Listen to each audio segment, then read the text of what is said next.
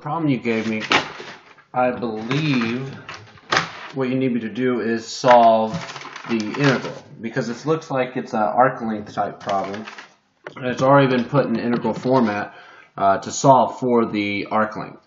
So what I did here, and I'm not sure if you, you can actually, are you allowed to do this or not, but what I did here is I used the integration table in the back of the Larson Calculus 10th edition textbook and if you look down it through the, the different integrals, you'll find something in the integration table, number 26, that looks similar to what we have here. Not exactly, but it looks similar. Okay?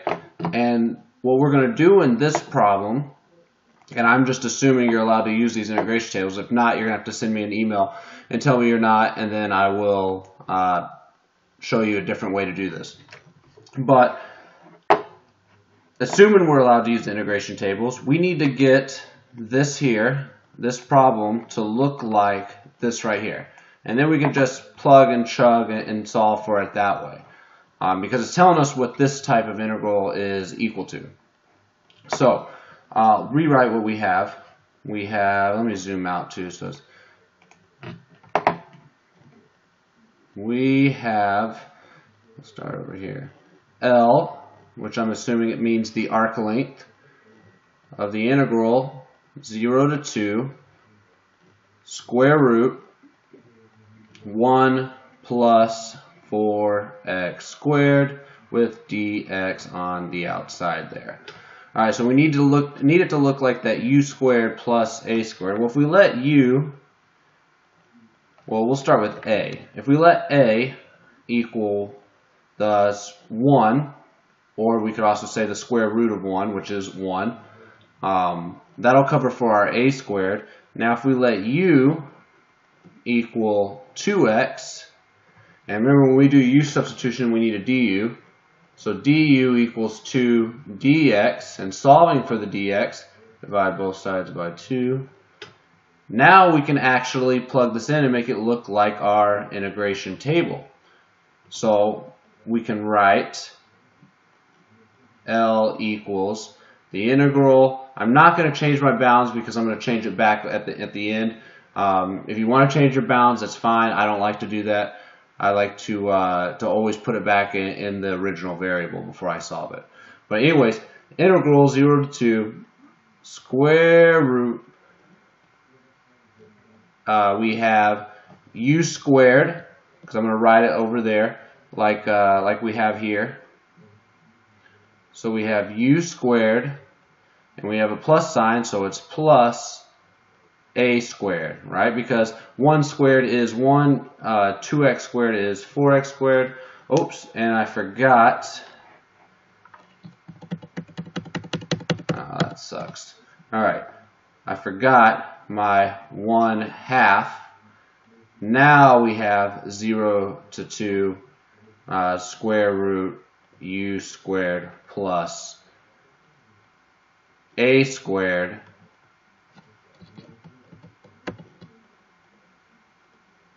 a squared and then du right we need to do that because we we did a u substitution and uh, with that u substitution came along that that one half that we had to pull along with our integral.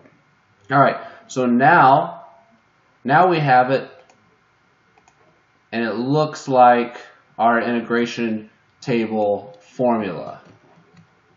Okay?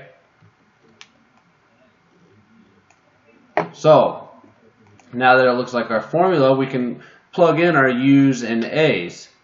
So, we can write L equals 1 half integral 0 to 2 square root u squared plus a squared. And this is going to equal, and I'll write up here, remember our u equals 2x, a equals 1. And now what I'm going to do is I'm going to write this formula here. So we have 1 half, this is the 1 half carried along, times another 1 half, that's the 1 half in our formula. and we have all this here. I'll go ahead and uh, write it as it's written there, just so you could, could see what we're doing exactly. u, u squared plus a squared, because we're, we're dealing with plus signs in this problem, plus a squared. And this is just the, the formula from the integration table. ln absolute value u plus square root not a good square root square root u squared plus a squared and all this is going to be evaluated as x goes from 0 to 2 so since I'm doing it in x I'm going to go ahead and turn all my u's turn all my U's and A's into my what I have substitute for my variables up here. So now we have that this integral equals this from our integration table. So now this is going to turn into 1 fourth and our u is 2x square root 2x squared is 4x squared plus a squared, which is just 1, plus a squared is 1. I'm not even going to write that. It's just going to take up room because 1 times something is that something. So ln absolute, oops, uh, u is 2x plus square root of 4x squared plus 1. And this, again, now that we have it in our uh, x variable. We're evaluating it once more on 0 to 2. So now we can go ahead and do the evaluation. And I'll go ahead and write that out. So f of b minus f of a. So right now we're going to evaluate it at 2. So 1 fourth. 2 times 2 is 4 times the square root. Uh, 4 times 4 is 16 plus 1 is 17 plus ln. Uh, we don't even need to put the absolute value. This is all positive. So ln 4 plus square root 17. So f of b minus f of a. So now we're going to do uh, evaluate all the x at 0. Well, just looking at this, we see that this is all multiplied by an x, everything here. So that's all going to go to 0. That's a really good arrow. Uh, and then over here, well, that'll be 0, that'll be 0, so it's going to be ln of square root 1, which is going to be ln, natural log of 1. Uh, natural log of 1 is 0, so we really have to just write minus 0, because that 0 ends up zeroing everything out. And you can go through the long process of checking that, but I'm pretty confident that everything there will end up as being zero.